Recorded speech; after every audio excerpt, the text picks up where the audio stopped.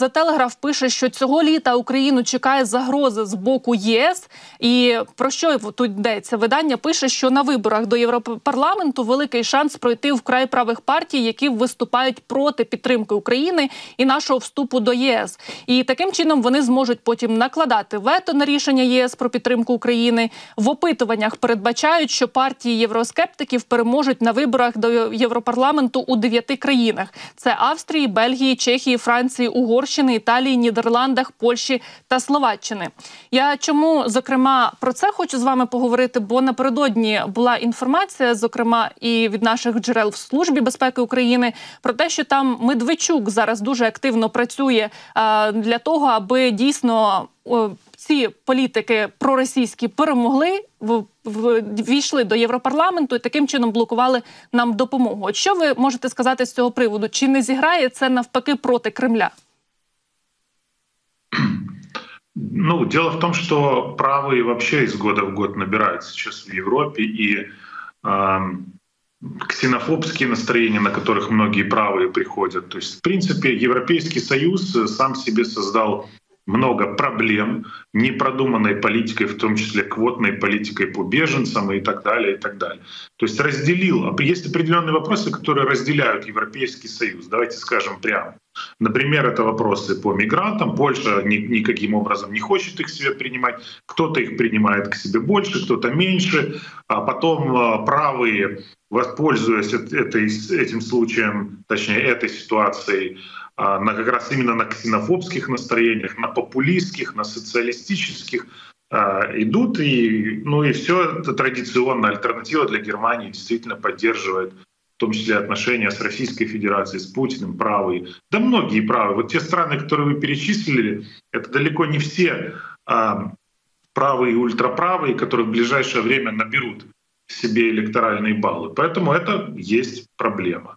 Э, э, Медведчук про которого вы сказали, мы-то думали, он где-то там сидит уже угу. в подвале только в российском, а нет, он создал несколько проектов медийных, в том числе «Другая Украина», в том числе там какое-то европейское, чего-то там, где... «Голос Европы». Вот, «Голос Европы». Там еще есть целый ряд проектов, где подтягивают всяких таких пророссийских экспертов, из разных стран. Причем Чехия, в Чехии свой проектик, в Словакии свой. То есть Медведчук делает то, что делал э, всегда. Занимается медийкой только уже в, на территории Европейского Союза. И это не очень хорошо. Сейчас, конечно, его поймали а, потому что россияне любят тупо раздавать деньги. То есть раньше можно было это раздавать эм, аккуратненько, а сейчас приходится раздавать тупо, потому что очень многие источники финансирования прикрыты, потому что, в принципе, Россия стоит рядом с Россией, рядом с российским проектом, продуктом медийным. Это э, репутационно небезопасно. Во-первых, платить приходится больше этим э, политикам европейским, а во-вторых, гораздо меньшее количество соглашается. Как раньше это все происходило? Было несколько способов, как коррумпировать европейского чиновника, политика, лоббиста, э, журналиста. Его приглашали в Россию и делали ему, эм, ну скажем так, тур или автограф-сессию или лекцию предлагали почитать где-то там в университете дружбы народов. Платили ему за это какие-то сумасшедшие деньги, 50 тысяч евро, например. И вроде как не коррупция, ну приехал человек своими знаниями, поделился, в России его ценят, но все понимали, что это коррупция. Когда Россия ну, уже агрессивно себя начала вести, я говорю сейчас не только а, полномасштабное вторжение, имею в виду, но и до этого, и аннексию Крыма, стало небезопасно брать деньги именно таким образом. Тогда стали хитрее вести себя. Тогда, например, могут поступить следующим образом, сказать, Напишите вот книжку. Очень нам интересна ваша книжка. А вы пишете книгу, выпускаете, и вам гарантируют покупку вашего, там, не знаю, 20, 20 тысяч, 30 тысяч э, тиража. То есть тут, тут как бы уже совсем сложно обвинить в, в подкупе, ну потому что человек книгу написал, ее какая-то организация, причем эта организация не в России может находиться, купила. Все зашло, налоги прошли, все красиво. Или же могли пригласить чиновника какую-то дружественную страну, в Казахстан. Угу. Таджикистан почитать лекцию или выступить где-то. Ну, то есть можно вообще ему не выезжать было, можно ему было там э, грант какой-то списать. Ну, короче, куча способов, как коррумпировать. И вот Медведчук в этом плане большой профессионал. Э, если вы видели, кто в его проекте «Другая» или «Новая Украина» участвует, это вся беглая дрянь, которая сбежала, которую он выступала там на на каналах, сбежала в Россию и теперь там рассказывает, что не все так однозначно, э, все в Украине поменяется, россиян тут любят и так далее. Поэтому, но Европа просыпается, Европа поздно, очень поздно, с запозданием просыпается. Russia Today и Спутник были закрыты в Германии и Франции только год назад. Представьте себе на секунду угу. этого, они а, мозги там промывали аж бегом. Пане Борисе, я так розумію, що взагалі після того, як е, зафіксували втручання Росії у вибори Сполучених Штатів Америки, зараз взагалі в Європі дуже ретельно е, слідкують за тим, чи втручається і зараз РФ, зокрема до тих виборів, які будуть відбуватися в їхніх країнах. То як ви гадаєте, чи будуть ось ці євродепутати вимагати якихось конкретних розслідувань, чи там притягнення до відповідальності когось, чи допоки вони там не зафіксують прямого втручання, то цього не буде? Да, так и будет. То есть э, забюрократизированная, слабохарактерная, безинициативная Европа сейчас стала.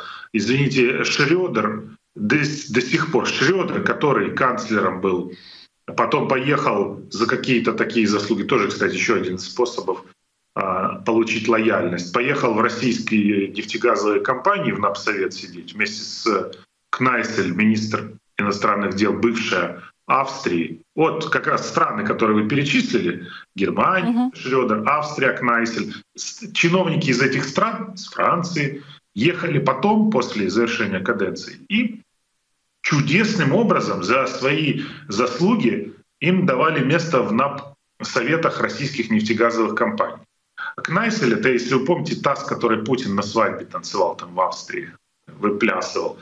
Вот. И Сейчас Шредер сидит и э, говорит, надо садиться, надо замораживать. То есть он до сих пор прекрасно себя чувствует. Какие-то фонды там у него есть, э, которые все, что надо, финансируют. Ну, в общем, по нему уже на родине санкции уже не стали дожидаться Европейского совета там, или э, уже свои граждане, обыкновенные граждане Германии, стали вводить санкции на, на своем уровне, как они это понимают. Мы запретили вход в несколько известных пабов немецких, баров. То есть на уровне обывателя уже давно поняли, что это не совсем интересы Германии соблюдает. А он работает уже давно на другую страну. А европейский вот пока Шредера с мешком рублей не поймает, угу. нормально. Ну, демократия же. Давайте про ще одну цікаву тему. Це про те, що Франція очікує, що Пекін направить Москві дуже чіткі сигнали щодо війни в Україні. Заявив очільник МЗС країни Стефан Сежурне. І от він говорить, що Китай він взагалі сам виступає за суверенітет а, і має має також виступати і за забезпечення незалежності України, поваги міжнародного права. Але при тому а, нещодавно була інформація, що Китай закликає зібрати мирну конференцію щодо України з рівною участю всіх сторін. Тобто, це не та буде мирна зустріч у Швейцарії за формулою формулою миру Зеленського, а це Китай щось своє пропонує. Як ви гадаєте, чи справді у Пекіна є якісь там важелі тиску, і що Пекін буде погодиться розглянути зокрема і нашу формулу миру, і потім знайти якийсь консенсус? Нет, нашу ну, Пекин бы свою формулу мира не предлагал, если бы ему понравилась наша формула мира. Здесь все очень просто. В формуле мира э, она даже не, не формула мира, я не знаю, там нет даже, нет даже пункта, китайский я имею в виду, нет пункта о выведении российских войск и освобождении территорий незаконно оккупированных. Хотя для Китая эта тема актуальна. То есть мы же понимаем, что если Китай признает а, оккупированные территории за Россией, тогда чего ты тогда в Тайвань лезешь, зададут вопрос. Вот. Хотя Тайвань никто не признал из крупных э, государств на сегодняшний день. Но Я думаю, что у Китая есть резон. Мы можем, к сожалению, у нас наша формула мира в наших интересах прописана со стороны Украины. Это логично. Убрать войска, там, э, освободить территории. Но мы можем сколько угодно саммитов мира проводить по этой формуле. Если Россия не согласна, то смысл нам проводить эти саммиты? Ну хорошо, угу. провели, собрали делегации, об, объяснили еще наши 10 пунктов, еще раз сказали в Джиде, сделали это там где-то в Брюсселе, и сделали. Дальше что? Россия не хочет принимать и уходить. То есть логика Китая, что, условно говоря, должны сесть стороны, которые э, одна, которая войну начала Россия, и та сторона, которая защищается, это мы, Украина. И вот без может, через посредника, если мы прямо не хотим разговаривать. Этим посредником может выступить там, Турция, Китай, э, Соединенные Штаты или несколько государств. Ну вот у них какое предложение. Но они не, не хотят, чтобы Путин отступил с тех территорий, где он стоит сейчас. Китай посылает сигнал, мне так кажется, я его так интерпретирую, что дайте Путину то, что он уже оккупировал, и тогда можно начинать. Если вы примете эту идею, да, то тогда можно начинать переговоры. Конечно, если принять эту э, идею, то в принципе тогда все диктаторы стряхнули пыль с себя во всем мире и такие, ага, так можно было, оказывается, да? Так сейчас мы быстренько э, отхапаем тут вокруг территории, на которые давно уже смотрим. Поэтому пока что пытаются совместить несовместимое. Но я думаю, многие обратили внимание, что про переговоры в том или ином формате, и да и в принципе Зеленский в, последнем, в предпоследнем своем обращении не, э, не отвергает полностью уже переговоры. В каком формате, с кем они будут проходить, сказать пока сложно. Ну, в общем, такая ситуация. А особенно это актуально на фоне затягивания uh-huh я не, не побоюсь этого слова, практически умышленного затягивания помощи Україні. Пане Борисе, така поясніть, будь ласка, чому тоді Франція, там можливо ще Німеччина, от вони так розраховують на Китай, що Китай може допомогти а, принести мир в Україну? Вопрос какой ценой? То есть помочь-то поможет, не вопрос. Но вопрос какой ценой? А, Россия свои условия выдвинула с учетом реалий на Земле, еще там какие-то хотелки уменьшить количество, ну, уменьшить армию, оружие, какую-то санитарную зону, оружие на там 80 километров, внеблоковый статус. То есть так хоть, хоть завтра, я думаю, Путин готов будет подписывать все, что угодно. Но еще раз говорю, какой ценой? А, отдать то, что Путин себе вписал незаконно в Конституцию, и такой мир. Ну, не думаю, что это приемлемо в принципе для нас. Поэтому, но Макрон, конечно же, понимает, что Китай а, с каждым месяцем все больше становится, у, все больше рычагов влияния у Китая на Путина. Китай спасает путинскую экономику. Китай спас ее в первый год. Если не Китай, все, там бы трещало бы все по швам уже давно. Китай сейчас спасает, когда избыток нефти Путин из-за санкций Индии не может продать, Китай покупает этот избыток нефти. А объем взаимной торговли там какие-то рекорды бьет. Поэтому Путин все больше заходит в вассальное положение перед Китаем. И, естественно, Китай все больше рычагов влияния имеет на Путина. Вот, вот какая идея у Макрона, что убедит он э, хитрого и умного Си, що на Путіна нужно повлиять. Угу. А що ви думаєте з приводу допомоги від Сполучених Штатів Америки? Тут, начебто, Джонсон говорить, що будуть голосувати за цей пакет допомоги, як вийдуть тільки з канікул, там 9 квітня приблизно це буде, але каже, що або дадуть її нам в кредит, або ж ще розглядають можливість надати доходи від заморожених російських активів это вообще, ну, когда, если уже такая риторика пошла, доходы от замороженных российских активов. До сих пор там механизм не наработан. А, условно говоря, куча европейских стран опасается, э, может быть, сделают аккуратные заявления, но кулуарно не поддерживают эту идею, потому что понимают, что Россия потом будет судиться, мстить, там, ну и так далее. То есть они смотрят куда-то дальше и, понятно, смотрят в свои интересы. Не, и, и наши интересы с вами, знаете, угу. не так важны. А, что касается в кредит. Хорошо. Э, это, кстати, не такая страшная история. То есть кредит, э, есть, есть понимание, что кредиты могут реструктуризировать и прощать. Есть такое понимание. И республиканцы, по сути, предлагают э, кредит, если нам оружие в кредит э, дают, то это фактически полноценный ленд-лиз. Берешь и платишь потом за то, что использовал. Вот это не самый плохой вариант. Не самый. Когда поняли, что мы сможем много попросить в, в счет последующей оплаты, быстренько отменили ленд-лиз и э, формат помощи сделали регулируемый. То есть вот дают нам пакет, сами туда что-то включают на свое усмотрение. Мы просим там, танки, самолеты, туда нам включают снаряды, еще что-то, нате, получите. А, это не самый плохой вариант с возможностью прощения этого кредита. Поэтому 9 апреля дожили уже в сентябре начали выделять помощь. 9 апреля помощи еще нет для Украины. Друг друга обвиняют республиканцы, демократы.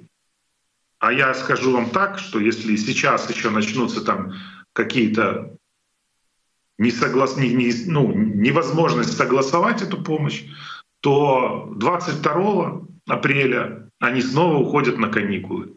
То есть насколько цинично выглядит ситуация. А коли вони працювати збираються? Ну просто одні канікули з них вийшли, в інші пішли, і так майже цілий рік. Ну, хорошо на пасхальные каникулы сходить, э, когда там вот война идет. Э, давайте так скажем, а наши там сильно далеко ушли. Закрыли вон сессию недавно, не приняв ни одного законопроекта. Тоже на каникулы собрались. А, в общем, если до 22-го не примут, не проголосуют, то уже в маї, як говорять. А ось тут ще уточнення з приводу допомоги в кредит. Президент Зеленський в інтерв'ю CBS News сказав, що 75% допомоги, яку Америка виділяє нашій державі, вона залишається саме у них. Да, больше даже по некоторым пакетам. То есть что, что происходит? Фактически выделяют деньги, за эти деньги покупают сами у себя оружие, Э, вот вам и остались. Или же, если это идет речь об обучении наших военных, то там вообще все, вся сумма остается в той стране, которая обучает. Ну, стоимость приличная, зависит разные классы, там, э, смотря какую специальность, какого уровня обучают. Поэтому, да, так и есть, остается э, помощь той стране. Ну я маю на увазі, що їм би вигідно було це голосувати за ці пакети допомоги, бо це і робочі місця для а, американців, і дійсно вони виготовляють озброєння, яке потім можуть е, продавати як Україні, так і іншим державам. Е, ну, может быть, вы тут даже и в, некотором степ... в некоторой степени и самим ничего делать не нужно. Например, есть страны, которые готовы передать нам американское оружие, А, для этого нужно согласие той страны, которая оружие производила, то есть Соединенных Штатов. Да. Или, например, Германии, если это немецкое оружие. Так да тут, тут даже согласия нет на некоторые категории. То есть тебе ничего платить не надо. Тебе нужно сказать, да, Дания, отдай эти самолеты Украине. Или да, Финляндия, отдай эти, эту артиллерию Украине. Понимаете в чем? И у Байдена, который с трибуны обвиняет сейчас э, республиканцев в затягивании, у него же ему же прямо под нос ткнули механизм. У тебя 5 миллионов снарядов лежит кассетных, списанных, которые армия США не может использовать. Угу. Потому что у них процент несработки там выше, чем сегодняшняя норма. Они производились там 20 э, лет назад, с другой, с другим там, с другой нормой, сейчас их не могут использовать. Они не взрываются там в стволе, они просто, когда долетает снаряд до точки, э, там не все вот эти раскрываются кассетные суббоеприпасы. Тут вопрос деньги дать только uh-huh. на транспортировку. Тут производить не надо ничего. Вот они готовы, 155 миллиметров, которые мы используем. Где Ему и написали несколько американских влиятельных СМИ, что а Байден мог бы это без Конгресса, он бы мог э, своей подписью, Белый дом бы мог это сделать. Но почему-то никто не делает. Дуже цікаво, як все буде розвиватися і надалі. Будемо, звісно, стежити. Пане Борисе, вам дуже дякую за інформацію, за те, що знайшли час для ефіру. Бажаю гарного дня і нагадаю, що Борис Тизенгаузен, політтехнолог, був щойно з нами на зв'язку.